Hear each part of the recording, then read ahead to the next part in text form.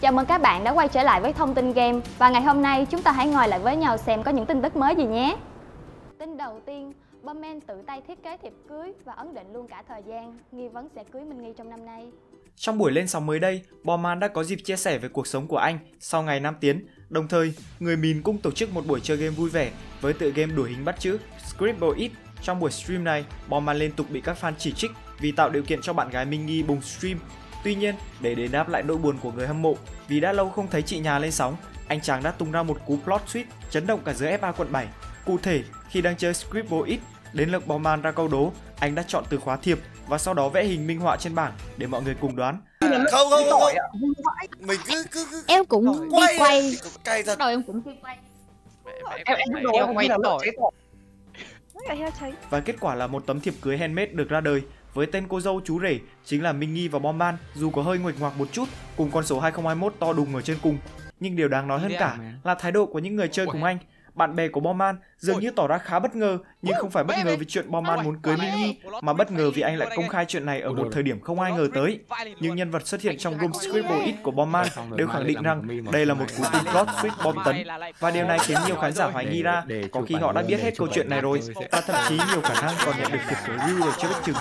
Thực tế, ngoài việc comment dạo trên Facebook hay stream của nhau thì Minh và Bomman vẫn luôn khá kín tiếng trong việc chia sẻ trạng thái mối quan hệ của cả hai, có thể là do phát cơm chó nhiều đó đủ rồi. Tuy vậy, kể từ khi Bomman hé lộ dự định nam tiến cho đến khi anh chuyển hẳn vào thành phố Hồ Chí Minh làm việc thì động thái thường xuyên nhất mà fan hâm mộ bày tỏ chính là dục cưới. Thế nên nếu Bomman Minh Nghi có tính đến chuyện hôn nhân thật thì Âu đó cũng là lựa chọn dễ hiểu và game thủ chỉ việc mong đợi vào một cái kết đầy viên mãn cho đôi trẻ này mà thôi.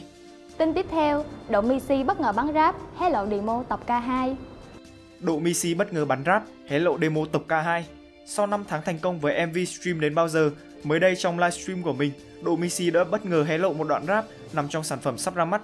Cụ thể nam streamer đã tiết lộ dự án âm nhạc mới nhất lần này sẽ như tập K2.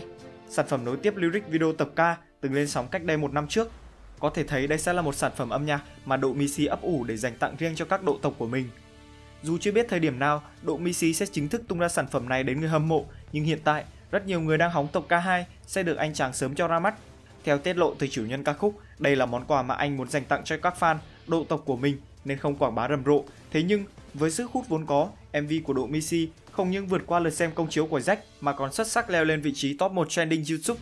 Cho đến thời điểm hiện tại, MV đã thu về gần 26 triệu view trên YouTube.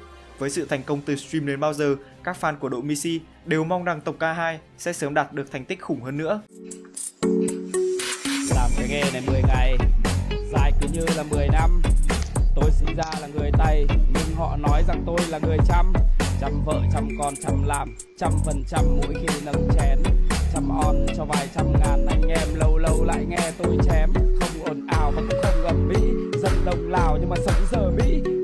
Được chơi cùng huynh đệ Thì thôi, nó cứ phải gọi là hợp lý Và đó là tất cả tin tức trong ngày hôm nay. Cảm ơn các bạn đã xem và theo dõi. Nhớ like và subscribe và bật chuông thông báo để cập nhật thêm những tin tức mới của chúng tôi nhé.